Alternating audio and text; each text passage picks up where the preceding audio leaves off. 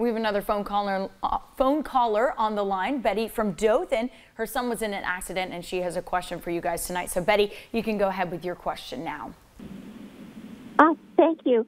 Um, my my son was involved in an accident, and they're saying that since the um, guy that hit him, his um, last month's payment was not made, they're saying that the insurance isn't um, effective.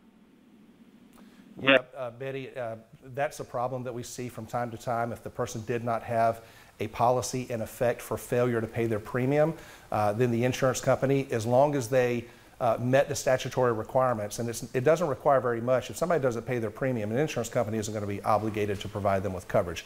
But there's still a little bit of a grace period there and a, and a, and a cancellation period. Um, you want to find out if they're within that, and maybe you can force coverage. But if they don't have coverage, then the only option at that point is to go after that uninsured motorist coverage that I just talked about, which would be under your own policy. Um, that would be the type of coverage that will kick in to compensate your son in the event this other person's policy did cancel for failure to pay their premium.